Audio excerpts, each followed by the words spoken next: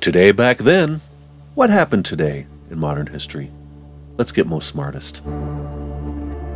In 1740, Charles de Bourbon, King of Naples, invites Jews to return to Sicily on this day in history. In 1743, Philadelphia establishes a pest house to quarantine immigrants. In 1783, Spain recognizes the independence of the young United States. In 1809, the Illinois Territory is created. In 1815, the world's first commercial cheese factory is established in Switzerland. In 1834, Wake Forest University is established. In 1836, the Whig Party holds its first national convention in Albany, New York. In 1855, the Wisconsin Supreme Court declares the U.S. fugitive slave law unconstitutional. In 1861, Delaware votes not to secede from the United States.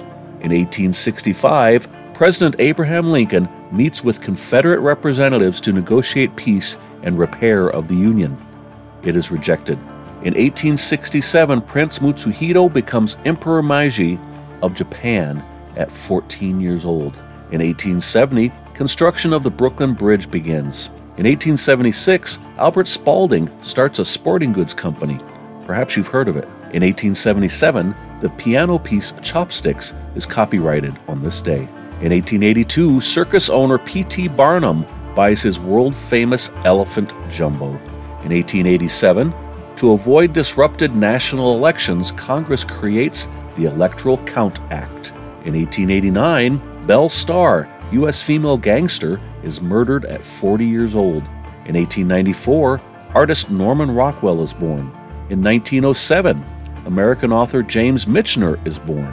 In 1913, the 16th Amendment is ratified.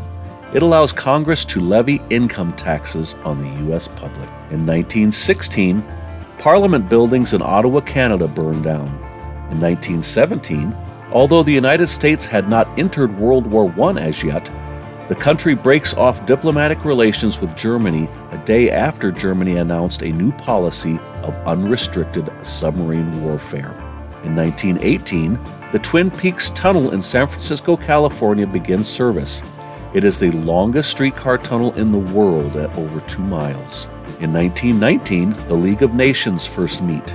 In 1923, the Alpha Zeta chapter of Pi Mu Alpha Sinfonia is founded at Pennsylvania State University. In 1924, former U.S. President Woodrow Wilson has died at age 67. In 1925, Benito Mussolini announces he is taking over Italy as dictator. In 1931, the Hawke's Bay earthquake, New Zealand's worst natural disaster, kills 258 people.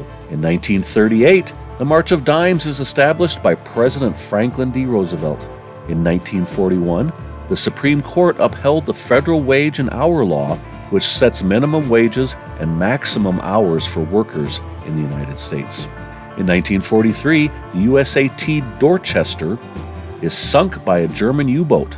Only 230 of 902 men aboard survive. In 1945, almost 1,000 flying fortresses dropped 3,000 ton bombs on Berlin. Also in 1945, Walt Disney's Three Caballeros is released. In 1947, proceedings of the United States Congress are televised for the first time. Also in 1947, in Snag, Yukon, a North American low temperature record of negative 81 Fahrenheit is set. In 1948, Dick Button becomes the first world figure skating champion from the United States. In 1951, The Victor Borge Show debuts on NBC TV. In 1953, Frances P. Bolton and her son Oliver P. Bolton become the first mother and son to serve simultaneously in the U.S. Congress. In 1956, a fire damages the upper part of the Eiffel Tower. Also on this day, Toni Sailer becomes the first Olympic skier to sweep the three alpine events. In 1957, the Hamilton Watch Company introduces the first electric watch. In 1959, American rock and roll singers Buddy Holly, Ritchie Valens, the Big Bopper, and pilot Roger Peterson were killed in a plane crash. The incident becomes known as the day the music died. Also in 1959, Alaska is admitted as the 49th U.S. state. In 1960, Italian dramedy La Dolce Vita, directed by Federico Fellini, had its world premiere and became one of the most important films in cinema history. In 1961, the United States Air Force begins Operation Looking Glass. Over the next 30 years, a doomsday plane is always in the air. In 1962, Pope John XXIII excommunicates Fidel Castro. Also in 1962, President Kennedy bans all trade with Cuba except for food and drugs. It was just a bad day for Castro. In 1964, the Meet the Beatles album goes gold. In 1967, Ronald Ryan, the last person to be executed in Australia, is hanged in Pentridge Prison, Melbourne. Also today, Purple Haze is recorded by Jimi Hendrix. In 1969, Yasser Arafat becomes leader of the Palestine Liberation Organization, also known as the PLO. In 1971, New York City Police Department officer Frank Serpico is shot during a drug bust while his fellow officers stood outside and failed to call for assistance. In 1972, a snowstorm in Iran kills 4,000, making it the deadliest in history. It started today and lasted over the next week. Also in 1972, the 11th Winter Olympics Games opens in Sapporo, Japan, the first time in Asia. In 1973, Dr. Hook's cover of the Rolling Stone enters the top 40 and peaks at number 6. Also on this day, President Richard Nixon signs the Endangered Species Act into law. In 1977, electronics giant Apple is incorporated. In 1979, YMCA by the Village People peaks at number 2. Also today, the Minnesota Twins trade Rod Carew to the California Angels for four players. In 1982, porn star John Holmes is ordered to stand trial for murder. In 1984, Harbor UCLA Medical Center announces history's first embryo transfer from one woman to another, resulting in a live birth. In 1986, the Pope and Mother Teresa meet in Calcutta. Also today, Pixar Animation Studios is spun off from Lucasfilm Limited. In 1989, 20 villages are evacuated in Russia after high radiation fallout from the Chernobyl nuclear disaster. In 1993, Cincinnati Reds owner Marge Schott is suspended for one year due to racist comments. Also in 1993, the federal trial of four police officers charged with civil rights violations captured on the videotaped beating of Rodney King begins in Los Angeles, California. In 1994, after the formal end of apartheid, on this day more than 7 million people are granted South African citizenship. In 1995, American astronaut Eileen Collins becomes the first woman to pilot a space shuttle. She flies the Discovery Shuttle. In 1997, a public memorial occurs for Carl Sagan in Ithaca, New York. In 1998, Karla Faye Tucker is executed in Texas, becoming the first woman executed in the United States since 1984. Also today, Mary Kay Letourneau, the 36 year old former teacher, violates probation with the 14 year old father of her baby. In 2000, the last original weekday Peanuts comic strip is published.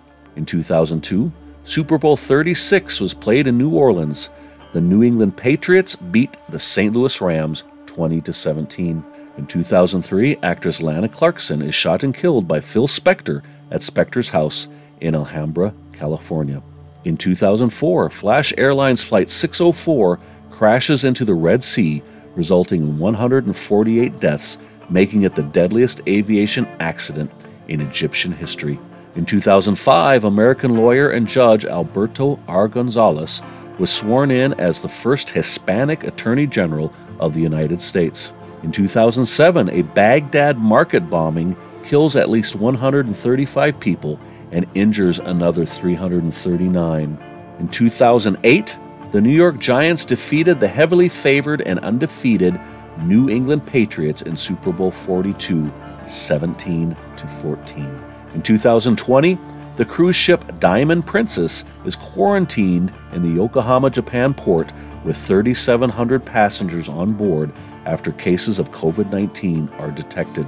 And in 2021, engineers at MIT announced that they have engineered spinach, yes, spinach, the green leafy stuff, to send emails when detecting explosive minerals in groundwater as part of their plant nanobionic research.